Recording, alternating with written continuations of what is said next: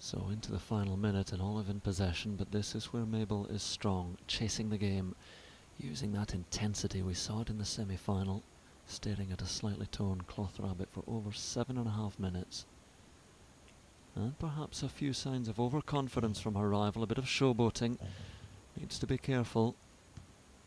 And there's the change from the classic hold, still placed on the outside though, great technique.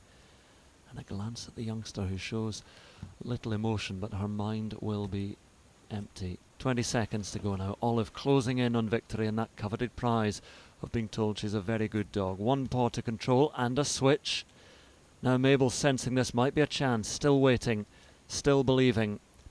And you wonder what Olive is doing here. Only has to hold on. Going to the upright though. High tariff with no opposable thumbs. High risk at this stage.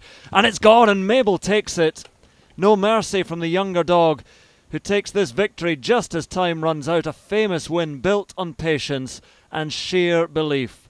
For Olive, only thoughts of what might have been, but only herself to blame. She's given this one away, and that will hurt most of all. Bad dog.